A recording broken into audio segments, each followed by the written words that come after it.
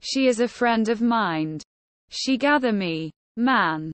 The pieces I am, she gather them and give them back. To me in all the right order. It's good, you know, when you got a woman who is a friend of your mind. As you enter positions of trust and power, dream a little before you think. A lot of black people believe that Jews in this country have become white. They behave like white people rather than Jewish people. Freeing yourself was one thing. Claiming ownership of that freed self was another. When there is pain, there are no words. All pain is the same.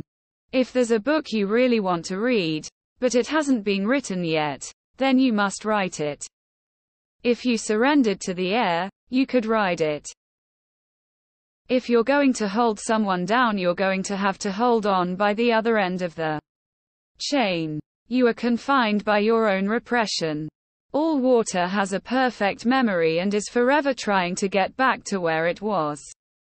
Make a difference about something other than yourselves. At some point in life, the world's beauty becomes enough.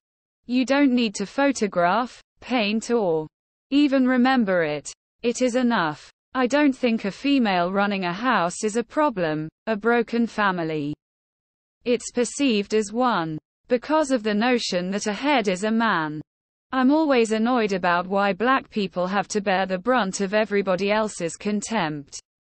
If we are not totally understanding and smiling, suddenly we're demons.